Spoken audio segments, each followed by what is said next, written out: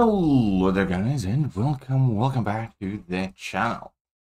So, I was casually trying to fall asleep and having no success. However, something relatively interesting caught my eye.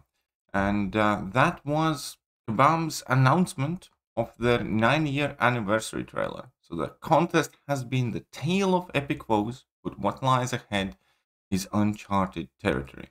Something beyond our wildest imagination. Tune in December 11th for our 9 year anniversary trailer, Call of Ouroboros.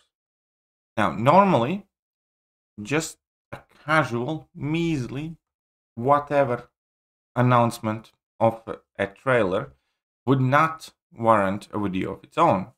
However, in this case, the channel art and the thumbnail that Kabam has chosen changes that. There's a clear uh, clear reason why they chose this art.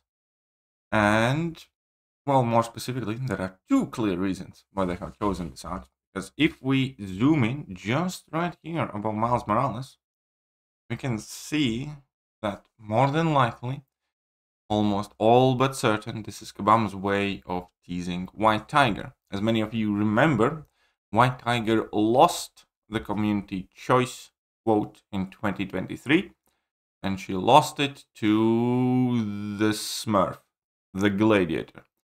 And uh, a lot of community is quite upset by it because not only a ton of people wanted to see White Tiger join the game, on top of it all, let's face it, whatever we got absolutely sucked.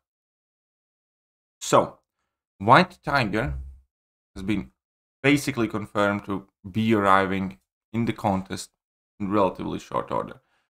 For those of you who do not know, White Tiger is a quite cool character. She's a student of Tigra.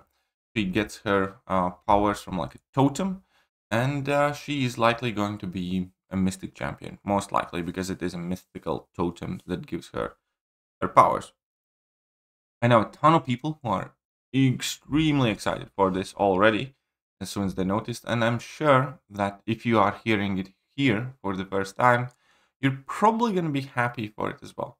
Not to mention that this typically has been the trend of the champions that do not win the Summoner's Choice vote, but come in second. Like, you know, when Hercule, uh, when uh, Quicksilver won, Omega Sentinel got added. We have had several other champions added that were in the community's uh, votes, but didn't quite succeed.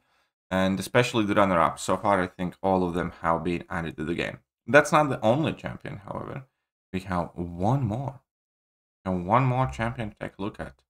And whilst initially you could kind of miss, you know, overlook him, but it is quite clearly Bullseye. And Bullseye is going to be, well, evidently the next skill or one of the next skill champions joining the game.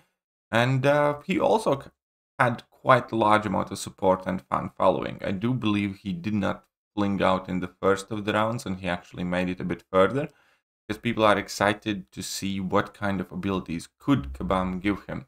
You know, probably bypass miss and evade, most likely, or some guaranteed crits or some weak points or something interesting, right? With the idea that, you know, he always manages to hit the target.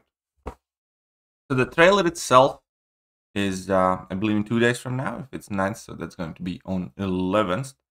Uh, and you know, when it comes out, I'll watch it. If it's going to be cool enough, I'll make a separate video for that.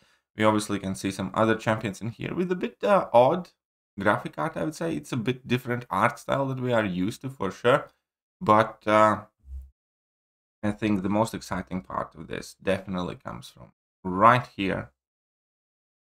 The white Tiger getting added to the game. And uh, I'm well excited for that. Let me know what you guys think, and I will catch you guys soon. Bye bye.